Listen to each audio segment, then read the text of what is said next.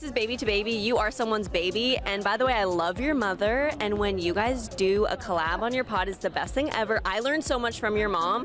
What is the number one thing that she has taught you?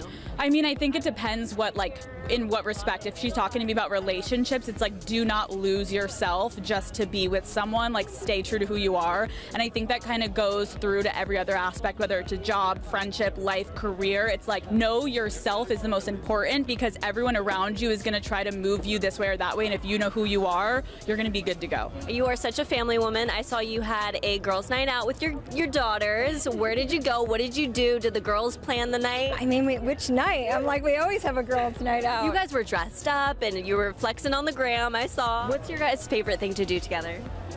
I mean, I just I just want them to be my best friend, and they just want me to not be their best friend. Of I keep trying to convince them that I'm still like cool enough to want to hang out with, but No, you're a cool girl. You still got it. We were talking about you looking like an angel. You are also looking like a bride. Are we? Oh my god, I know, right? I'm in white tonight. So are we thinking there's going to be a 2023 wedding date? What are we thinking I think so. I think so. I think I think that is our plan. We are really instinctual people, so we just go with the flow. And I, I, I think we we have yes.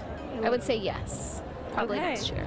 I love that you guys are just you go with the flow. You seem easy, comfortable. You're like, let's just do what feels right. Like it could be an in the moment situation. Yeah, we, we really are that. We might, you know, just hop up and go to the courthouse one day with two people and be done with it. I mean, you know, That's the way to. Hey, I had a micro wedding during the pandemic, and let me tell you, no regrets.